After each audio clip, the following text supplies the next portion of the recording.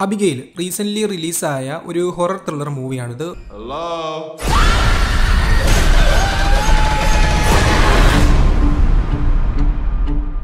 ഇതിന്റെ ട്രെയിലർ കണ്ട സമയത്ത് ഇതൊരു ക്ലീഷേ മൂവി ആയിരിക്കും എന്നാണ് ഞാൻ കരുതിയത്. പക്ഷേ തിയേറ്ററിൽ പോയി കണ്ട സമയത്ത് surprisingly this movie was very good അതായത് ഞാൻ പ്രതീക്ഷിച്ച് പോയതിനെ കഴിഞ്ഞും കുറച്ചും കൂടെ ബെറ്റർ ആയിട്ടുള്ള ഒരു മൂവി ആയിട്ടാണ് എനിക്കിത് ഫീൽ ചെയ്തത്. അപ്പോൾ സിനിമയുടെ ഒരു പ്ലോട്ടിലേക്ക് കടക്കാനാണെങ്കിൽ കുറച്ച് ഗ്രൂപ്പ് ഓഫ് ക്രിമിനൽസ് എല്ലാം കൂടെ ചേർന്നുകൊണ്ട് ഒരു പെൺകുട്ടിയെ തട്ടിക്കൊണ്ട് പോവുകയാണ്. അതായത് ഒരു പന്ത്രണ്ട് വയസ്സുള്ള ഒരു കൊച്ചിനെ തട്ടിക്കൊണ്ട് പോവുകയാണ്. അപ്പം ഈ ഒരു തട്ടിക്കൊണ്ട് പോയ പെൺകൊച്ച് ആരാണെന്നും ഈ ഒരു പെൺകൊച്ചിനെ എന്തുകൊണ്ടാണ് തട്ടിക്കൊണ്ട് പോകുന്നതെന്നൊന്നും ഇവർക്ക് അറിഞ്ഞുകൂടാ. ഈ കുട്ടിയെ കൂട്ടിക്കൊണ്ട് പോയിട്ട് ഒരു മാൻഷൻ അല്ലെങ്കിൽ ഒരു വലിയ വീടുണ്ട് ആ വീട്ടിൽ ഇരുപത്തിനാല് മണിക്കൂർ വെക്കണം. അതായത് ആ ഒരു കുട്ടിയെ ഇരുപത്തിനാല് മണിക്കൂർ ക്യാപ്റ്റീവായിട്ട് ആ വീട്ടിൽ വെക്കുക എന്നുള്ളതാണ് ഈ ക്രിമിനൽസിന്റെ പ്രധാനപ്പെട്ട ജോലി എന്ന് പറയുന്നത്. അപ്പോൾ ഇവരെല്ലാവരും കൂടെ ചേർന്നുകൊണ്ട് ആ കൊച്ചിനെ തട്ടിക്കൊണ്ട് വന്ന് വീട്ടിൽ കൊണ്ട് വെക്കുന്നു. പക്ഷേ കുറച്ച് നേരം കഴിയുമ്പോഴത്തേനാണ് ഇവർ അറിയുന്നത് ആക്ച്വലി ആ ഒരു കൊച്ച് ഒരു വാമ്പയർ ആണ്. അതായത് ഒരു ബ്ലഡ് തേഴ്സ്റ്റി ആയിട്ടുള്ള വാമ്പയർ ആണ് ആരെ കണ്ടാലും സ്പോട്ടിൽ കടിച്ചു കയറുന്ന ഒരു സംഭവമാണെന്ന് ഇവരിത് മനസ്സിലാക്കി അങ്ങോട്ട് ചെല്ലുമ്പോൾ തൊട്ടുള്ള കാര്യങ്ങളാണ് ഈ ഒരു സിനിമയ്ക്കകത്ത് നടക്കുന്നത്. അതായത് നമ്മൾ യൂഷ്വലി ഇതുപോലത്തെ ടെംപ്ലേറ്റ് മൂവീസ് ഒരുപാട് കണ്ടിട്ടുണ്ട്.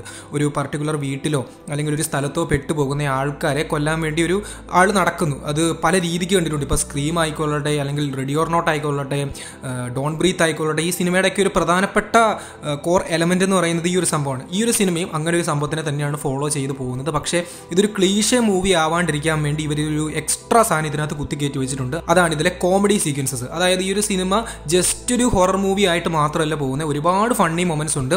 അങ്ങനെ പോകുന്നത് കൊണ്ട് കുറച്ചും കൂടെ എന്റർടൈനിങ് ആയിട്ട് എനിക്ക് ഫീൽ ചെയ്തു. കാരണം ഇതൊരു നോർമൽ ഹൊറർ മൂവി പോലെ. അതായത് ഇവരൊരു ഡോൺ ബ്രീത്ത് മോഡിലൊക്കെ ആയിരുന്നു എടുത്തു എന്നുണ്ടെങ്കിൽ ഇത് ഭയങ്കര ക്ലീശയായിട്ട് പോയതിനെ പക്ഷേ ആ ഒരു കോമഡി സീക്വൻസസും കൂടെ വെച്ചത് കൊണ്ടാണെന്ന് തോന്നുന്നു നമുക്ക് ചിരിക്കാൻ പറ്റും. ഈവൻ ചില സീരിയസ് മൊമെന്റ്സിൽ പോലും നമുക്ക് ചിരിക്കാൻ പറ്റും. അങ്ങനെ ഒരു രീതിക്കാണ് സെറ്റപ്പ് ചെയ്ത് വെച്ചിരിക്കുന്നത്. എന്ന് വെച്ചുകൊണ്ട് ഇതൊരു സ്പൂഫ് മൂവിയല്ല ഇതിനകത്തെ കാര്യങ്ങളൊക്കെ വളരെ റിയലിസ്റ്റിക് ആയിട്ടാണ് നടക്കുന്നത്. പക്ഷേ ഇതിനകത്ത് അത്യാവശ്യം നല്ല കുറച്ച് കോമഡീസും കാര്യങ്ങളൊക്കെ ഉണ്ട്.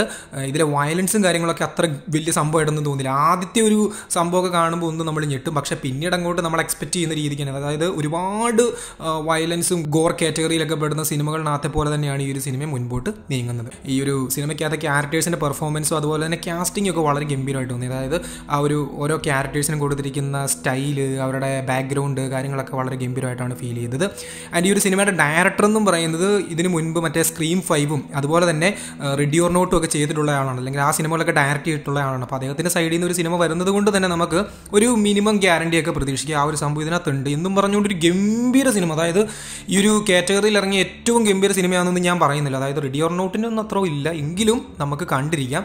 ഒരു വെറൈറ്റി എക്സ്പീരിയൻസ് നൽകുന്നുണ്ട്. കാരണം ഇതിലെ കൊച്ചൊരു വാമ്പയറാണ് അപ്പോൾ ആ കൊച്ചു കാട്ടിക്കൂട്ടുന്ന നമ്മുടെ മേഘൻ മൂവിയൊക്കെ പോലത്തെ ഒരു കൈൻഡ് ഓഫ് വൈബ് ഈ ഒരു സിനിമയ്ക്ക് തരാൻ സാധിക്കുന്നുണ്ട്.